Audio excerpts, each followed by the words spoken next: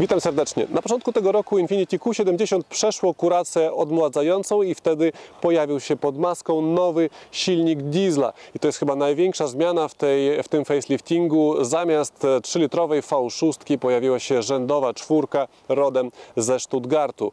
Jedni uważają, że połączenie limuzyny i diesla to jest kiepski pomysł, inni z kolei uważają, że to nic wstydliwego i jeśli można zaoszczędzić, to czemu nie? Dzisiaj sprawdzimy, czy takie połączenie limuzyna plus diesel sprawdzi się w Infiniti Q70. Zapraszam.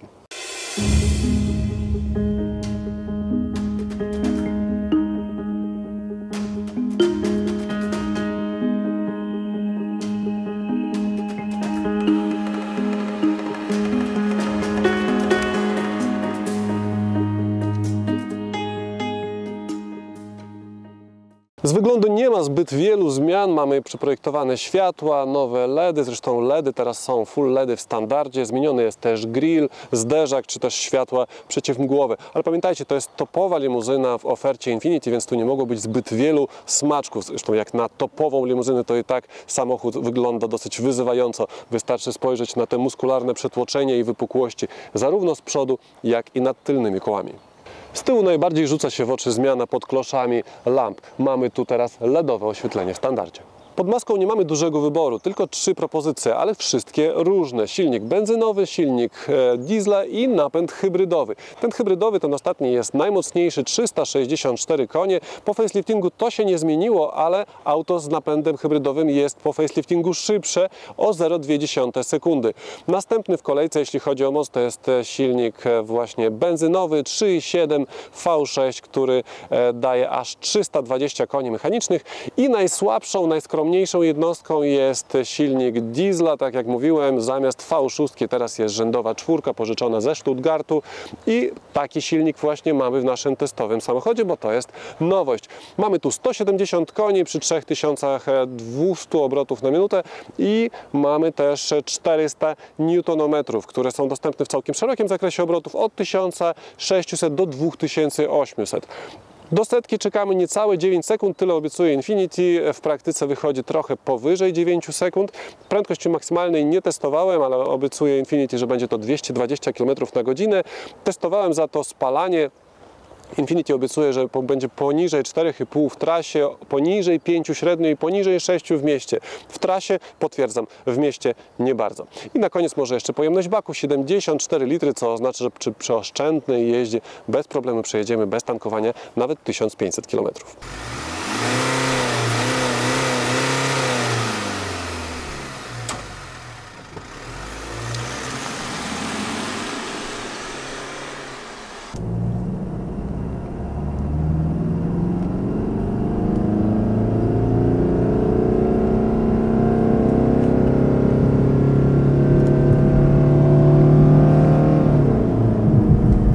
Q70 to 5-metrowa limuzyna i wydawałoby się, że miejsca z, przodu, a nie z tyłu nie powinno zabraknąć. A jak jest naprawdę? No powiem tak, z przodu jest tak w sam raz, a właściwie to nawet trochę za mało. Zacznę może od miejsca nad głową, które jest e, przycięte tak w sam raz. Tutaj mamy jeszcze okno dachowe, które też zabiera parę centymetrów, więc być może przez to. W każdym razie jak ja się wyprostuję, to szoruję tutaj e, włosami o podsufitkę. Na długość oczywiście bez problemu dopasuje fotel. Tutaj fotel zresztą należy pochwalić, bo jest bardzo taki miękki, komfortowo, obszerny. Jest super, można go regulować tutaj na wysokość w dwóch punktach, przód, tył osobno. Mamy też regulację odcinka lędźwiowego, ale tylko w jednej osi. E, warto też e, wspomnieć o tym, że jest to fotel zdecydowanie dla dwumetrowca za krótki. Popatrzcie na jakiej wysokości kończy się e, oparcie. Jeszcze raz popatrzcie, w tym miejscu to powinno tak naprawdę kończyć się oparcie, a nie zaczynać się zagłówek i to jest najwyższe ustawienie zagłówka, więc zagłówek też jest za nisko. Sytuacja z tyłu wygląda dosyć zabawnie, bo wydaje mi się, że tutaj mam więcej miejsca. No, na głową mam no, może tak samo jak z przodu, co już jest dosyć ciekawe. E, na długość praktycznie nie dotykam tutaj e, kolanami fotela przed sobą, a więc też jest dobrze. E, generalnie podróżuję się tu całkiem dobrze, może pomijając to, że jak wsuwam tutaj stopę pod fotel, to czuję górą buta, że już tam miejsce jest dokładnie na ten mój rozmiar 46, a teraz spróbuję przeskoczyć na prawą stronę. Muszę tutaj pokonać niestety ogromny tunel bardzo wysoki, bardzo szeroki Mm, i od razu zwracam uwagę na taki oto wynalazek, jakim jest nawiew na tył. Oczywiście to jest bardzo luksusowy samochód, więc nawiew na, nawiew na tył musi być, ale dosłownie dwa dni temu testowałem Nissana Pulsara, gdzie nawiew na tył wyglądał dokładnie tak samo. Takie same, tanie, badziewne plastiki, więc tutaj wydaje mi się, że przynajmniej jakiś drobiazg, jakiś aluminiowy, nie wiem, dekoracyjny element mógłby się przydać, żeby uratować to kiepskie wrażenie z tego nawiewu. Poza tym oczywiście fotele są, kanapa jest naprawdę bardzo wygodna, bardzo komfortowa. Mamy tu również podłokietnik, e, możemy tu schować, e, nie wiem, walizkę chyba tak wielkie jest tutaj e, wielka kieszeń, oczywiście bardzo głębokie, również dwa miejsca na kubeczki, również mamy tu przejście na narty osobne, więc wszystko jest tutaj przemyślane jak najbardziej na odpowiednim poziomie. Nad głową mamy światełko osobne po, po lewej stronie, osobne po prawej stronie, kieszenie mamy tutaj oczywiście za fotelami jedna, druga, ale kieszeni w drzwiach z jakiegoś powodu nikt nie zaprojektował, więc to mnie trochę dziwi. E, I jeszcze ostatnio pytaliście, czy e, zagłówki da się wysunąć wystarczająco wysoko, no to powiem, że to jest najwyższe ustawienie i to dla mnie jest zdecydowanie za nisko. Przyjrzyjmy się teraz bagażnikowi i od razu powiem, że będzie tu sporo rozczarowań. Zacznijmy od tego, że bagażnik trzeba otworzyć, on się nie otwiera, jego trzeba tutaj udźwignąć, nie ma tu ani elektrycznego sterowania, ani też takiego odskakiwania automatycznego, a ta klapa do lekkich nie należy. Z kolei na plus należy zaliczyć zawiasy, które są bardzo kompaktowe i tutaj nic nie wchodzi do środka, to jest akurat bardzo fajne rozwiązanie. W środku znajdujemy 450 litrów, również dosyć przeciętny wynik, co prawda wersja z silnikiem benzynowym ma 500, ale z kolei wersja z, z napędem hybrydowym ma zaledwie chyba 350, w każdym razie bardzo niewiele. Ale tutaj gospodarujemy taką wartością, jaka jest, czyli 450 i widać, że ten bagażnik jest asymetryczny. Tutaj po lewej stronie być może jest e, jakiś subwoofer od Bose, bo tu jest taki system audio zamontowany. Mamy tu takie praktyczne jakieś siateczki, jedna siateczka tutaj, siateczka druga, ale jeśli byśmy szukali jakichś haczyków, pasków czy czegokolwiek, jakichś kieszonek, poza tym jest dosyć sterylnie. Niestety nie widzę tu e, żadnego haczyka. Pod podłogą znajdziemy dojazdówkę, ale żeby się do niej dostać trzeba popracować, bo tak, podnosimy taki średnio solidny, e, solidną jedną warstwę, tutaj zawieszamy, mamy dostęp tutaj w tej chwili do, jak widać, trójkąta, podnosimy jeszcze taki styropian i dostajemy, jak widać, ładną felgę zresztą, ale to jest tylko dojazdówka i tutaj nie ma już miejsca na odłożenie żadnych dodatkowych jakichś przedmiotów, więc do dyspozycji, jeśli chodzi o pojemność bagażnika, mamy tylko to. I teraz jeszcze jedno rozczarowanie. Niestety nie powiem, jaka jest pojemność bagażnika po złożeniu oparć tylnej kanapy, bo tego zrobić się niestety nie da. I to jest naprawdę spore rozczarowanie, bo mamy do czynienia z dużym samochodem, 5 metrów długości, a tu do przewiezienia, jeśli będziemy mieli coś większego niż narty, które tam do tego okienka się zmieszczą, to będzie problem. Także szczerze powiedziawszy, to jest chyba najsłabszy punkt tego samochodu. Wnętrze Infinity zawsze mają ten swój niepowtarzalny styl i charakter. Jeśli ktoś lubi bardzo proste i takie stonowane wnętrza, to może w tym samochodzie czuć się trochę przytłoczony tymi wszystkimi smaczkami e, designerskimi, ale jeśli ktoś lubi coś nowoczesnego i odważnego, to myślę, że w Infinity będzie się czuł jak ryba w wodzie. Ilość tych smaczków jest e, naprawdę e, spora. Skupię się tu tylko może na kilku. Przykładowo ta konsola centralna, która jest zrobiona niczym wodospad i tak spływa kolejnymi falami aż do tunelu centralnego. E, Warto też wspomnieć, zresztą tu mamy całkiem sporo ładnie wykończonych przycisków, pokręteł i tak dalej. To wszystko trochę przytłacza na początek. Mamy tu też bardzo ładny zegarek, jak mógłbym zapomnieć, ale łatwo się w tym naprawdę połapać. Mamy też na przykład bardzo ładny daszek nad zegarami, wygięty tak odpowiednio e, nad obrotomierzem i prędkościomierzem. Też to wygląda naprawdę bardzo fajnie. E, Popatrzcie na boczki drzwi. E, Mamy tu metalowe oczywiście wykończenie i zwróćcie uwagę jak to jest, jak to jest ukształtowane w kształcie takiej kropli. Tego jest więcej, przykładowo światła na podsufice, które in, u innych producentów są po prostu światłami. Tutaj jak widać są też ukształtowane w, takim, w taką formę e, właśnie takiej kropli, więc tu naprawdę nie ma miejsca na nudę, wszystko jest odpowiednio zrobione. Popatrzcie też na, na, na fragment konsoli przed pasażerem. Mamy tu tak powyginane, że też nie ma nudów. E, może teraz przejdźmy do materiałów wykończeniowych, które są naprawdę fantastyczne. Tu mamy mięciutki plastik, tu mamy inny, innej faktury, ale równie miękki plastik. Tu mamy lakierowany plastik, ale ozdobiony. Tutaj mamy jeszcze, jak widać, taką ozdobę srebrną. Niżej mamy już drzwiczki od schowka przed pasażerem, ale zwróćcie uwagę, że są one również miękkie. To jest naprawdę niesamowite. Oni zadbali tutaj o to, żeby aż do końca to wszystko było przyjemne w dotyku. Tutaj wciąż jest naprawdę bardzo mięciutko, więc e, naprawdę materiały wykończeniowe są na bardzo wysokim poziomie. Oczywiście boczki, drzwi tutaj trochę mniej już miękkie, ale wciąż ugina się pod palcem. Tu mięciutko, tu mięciutko, no i coś, za co naprawdę lubię Nissany, a więc i Infinity a mianowicie metr pianki pod łokciem. Tutaj jest naprawdę bardzo komfortowa podróż e, właśnie dzięki temu, że pod łokciem jest miękki podłokietnik i teraz spróbujemy szarpnąć za uchwyt. Drzwi nie wydają absolutnie żadnego dźwięku, delikatnie się odkształcają. Jedyny odgłos, który tu słyszałem był gdzieś tutaj bo się tu oparłem. Ale szczerze powiedziawszy, słyszę go po raz pierwszy teraz podczas testu, więc podczas codziennej eksploatacji raczej tutaj nic w tym kierunku się nie odkształca, aby taki dźwięk wydawać. Samochód jest naprawdę nieźle wyciszony, zresztą e, Infiniti się chwali tym, że, że jest e, dobre wyciszenie, lepsze niż przed faceliftingiem. Zwróćcie uwagę tak, na takie szczegóły na e, obrotomierzu, bardzo ładne wykończenie, niebieska otoczka, jeszcze światło, więc to wszystko naprawdę fajnie wygląda. Warto też zwrócić uwagę na funkcję tutaj Forest Air, która sprawia, że nawiew działa nie tak równomiernie jak to zwykle.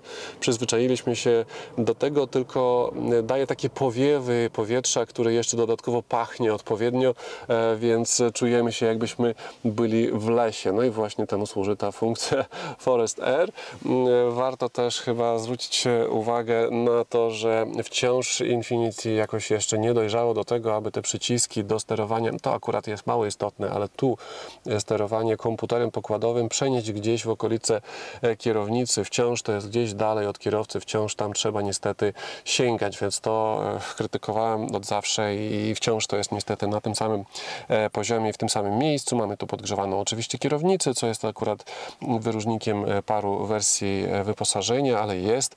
U nas przynajmniej w naszej testówce mamy tu oczywiście system Safety Shield, który integruje w sobie wiele różnych systemów, które odpowiadają za bezpieczeństwo. Mamy tu aktywny tempomat, gdzie możemy ustawiać jakąś tam odległość.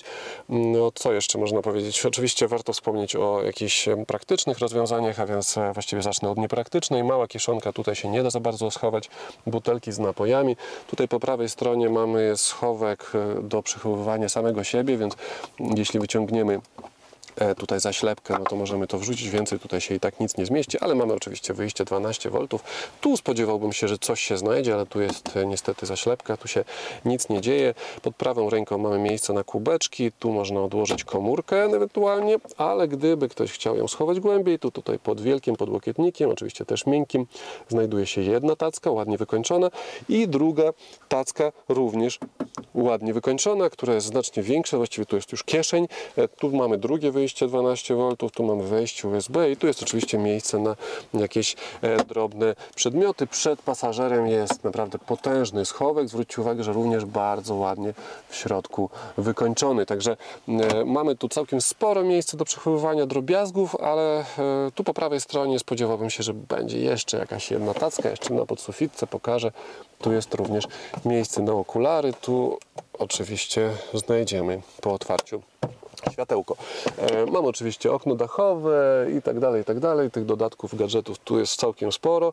E, Mamy też bardzo ładne fotele, wygodne, komfortowe. Zwróćcie uwagę, że mamy tu również e, wydobywający się z nich dźwięk. Taki system audio widuje się rzadko i chyba ostatnio widziałem właśnie w Infinity. Jednym słowem, jeśli komuś nie przeszkadza ta, taka, takie zagęszczenie smaczków stylistycznych, to w Infinity Q70 będzie podróżował naprawdę bardzo komfortowo. Infinity Q70 jeszcze nie jeździłem, natomiast Infinity M, czyli poprzednia nazwa tego samego modelu, e, była w naszej redakcji i to była wersja z silnikiem, właściwie z napędem hybrydowym. Nie wiem, czy miałem okazję jeździć wersją V6 e, z silnikiem diesla, która niestety już nie jest dostępna. Niestety albo stety, dlatego że podobnie jak w Q50, Q70 teraz dostała e, właśnie bardziej oszczędny silnik pożyczony ze Stuttgartu. Tutaj jeśli chodzi o wrażenia z oszczędnej jazdy, to przed chwilą skończyłem pomiar i wynik dla 5-metrowej luksusowej limuzyny e, poniżej, dużo poniżej 5 litrów, to naprawdę e, robi dobre wrażenie, także tutaj ta przesiadka na nieco mniejszy silnik być może sprawi, że ten samochód będzie nieco mniej, właściwie sprawiła, że ten samochód e, jest nieco mniej sportowy. Z całą pewnością dla kogoś, kto kupuje Infinity, kto między innymi przekalkulował to wszystko i wyszło mu, że klasa E, BMW serii 5 e, czy też Audi A6 e, dają to samo dopiero po dopłaceniu sporych pieniędzy, aby uzyskać to wyposażenie to dla takiej osoby myślę, że kwestia spalania nie będzie ostatnim tematem do przemyślenia. I oto siedzimy w wersji silnikiem diesla, w wersji, które, która co prawda to jest pakiet wyposażenia Sportech, więc jest słowo sport w nazwie. Mamy tutaj też pod kierownicą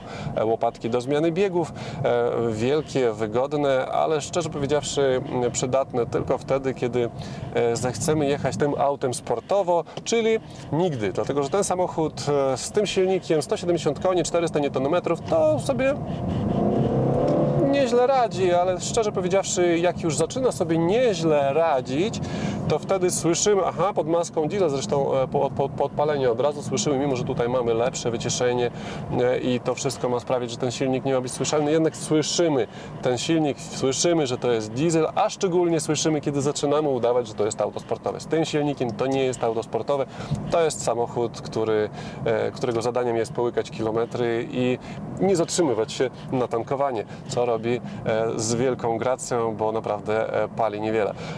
Jeśli chodzi o skrzynię biegów, to tutaj wielkich zmian nie ma, czyli mamy 7 biegów i te biegi zmieniają się e, w miarę dobrze, mniej więcej w tym samym leniwym trybie, w jakim tak naprawdę działa cały samochód. Także można powiedzieć, że skrzynia biegów niestety nie jest szybsza niż poprzednio, ale z tym silnikiem można powiedzieć, że akurat pracuje w rytmie reszty samochodu.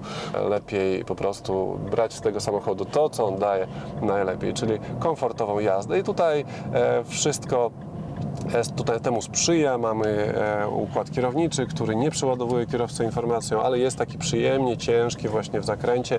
Bardzo precyzyjnie można powiedzieć, że wska wskazuje drogę, aczkolwiek jeśli chcemy zrobić jakąś, jakiś ostry manewr, to szczerze powiedziawszy reszta samochodu za, za, za, za tymi wskazaniami, e, które bardzo łatwo jest ustawić, e, podąża z takim pewnym opóźnieniem, więc e, powtórzę się chyba po raz trzeci.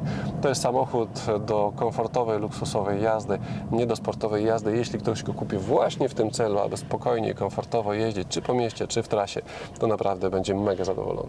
Podstawowa wersja Infiniti Q70 kosztuje 193 500 zł i w tej cenie dostaniemy właśnie ten najsłabszy silnik diesla.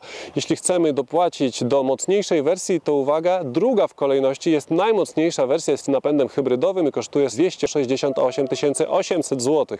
A najdroższa topowa wersja to jest wersja 3.7 V6 320 koni i za nią zapłacimy 285 500 zł. Mamy do wyboru 5 pakietów: podstawowy, premium, premium tech, sport i sport tech jako najdroższy, przy czym różnica cenowa pomiędzy podstawowym a najdroższym premium tech wcale nie jest taka duża, około 30 tysięcy złotych, co jak na e, markę z segmentu premium wydaje się być bardzo rozsądną kalkulacją, bo w innych markach premium nieraz jeden pojedynczy element dodatkowego wyposażenia potrafi kosztować dwa razy tyle. E, Co dostajemy za tych ponad 30 tysięcy złotych? E, Między innymi 20-calowe felgi, system Forest Air w środku, czy na przykład system kamer. Oczywiście lista dodatków jest znacznie dłuższa, ale gdyby ktoś chciał kupić najdroższą wersję i jeszcze dopłacić, to może dopłacić przykładowo 4000 za lakier metalik, 5000 za okno dachowe, e, czy też 3300 za system audio Bose z 10 głośnikami. I to myślę, że warto, tym bardziej, że z tych 10 4 głośniki znajdują się bezpośrednio na fotelach tuż przy głowie e, kierowcy i pasaż- pasażera siedzącego z przodu, więc rozwiązanie jest bardzo ciekawe. Oprócz tego jest jeszcze jeden duży dodatek za 10 500 zł, nazywa się Connectivity Plus i składa się z dużego ekranu, z nawigacji i z systemu multimedialnego z 30-gigowym dyskiem. Konkurencja w tym segmencie jest bardzo mocna. Audi A6, BMW serii 5 czy Mercedes klasa E. Oprócz tego oczywiście Jaguar XF czy też e, Lexus GS. Warto też wspomnieć o Hyundai Genesisie, który e, co prawda jest w tej, e, w tej grupie najdroższy, jeśli chodzi o podstawową swoją wersję, bo najtańszy kosztuje 300 tysięcy złotych, podczas gdy tutaj możemy kupić Infiniti poniżej 200, a wielka niemiecka trójka w ogóle zaczyna się od kwoty około 170 tysięcy złotych, co oczywiście jest je- jednym wielkim złudzeniem, bo w podstawowych wersjach e, w tych niemieckich samochodach dostaniemy prawdopodobnie szyby na korbki, więc e, jeśli chcemy doposażyć e, te samochody, to wiadomo, że kwota raczej przybije właśnie Infiniti e, Q70, które bardzo wiele elementów ma w standardzie. Moja znajomość z tym modelem zaczęła się od Infinity jeszcze M z napędem hybrydowym i wtedy była to bardzo taka energetyczna i sportowa znajomość, bo tamten samochód był naprawdę bardzo szybki i przekonywał do siebie.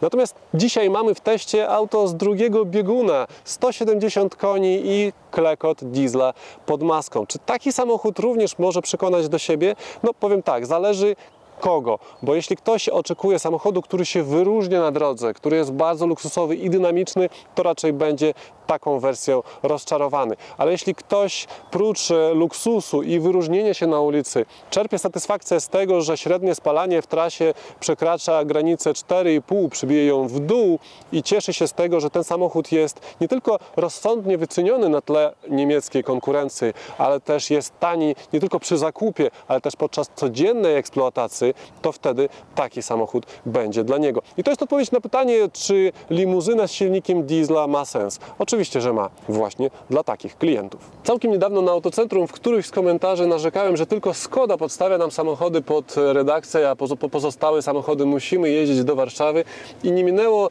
dosłownie parę dni, a zadzwonił do mnie przedstawiciel Infinity i powiedział, że właśnie do nas, do naszej redakcji zmierza z Warszawy e, ich samochód, czyli właśnie to Infinity Q70. Powiem tak, Oby tak dalej i będziemy dla Was testować coraz więcej, coraz ciekawszych samochodów. Subskrybujcie, aby tego nie przegapić.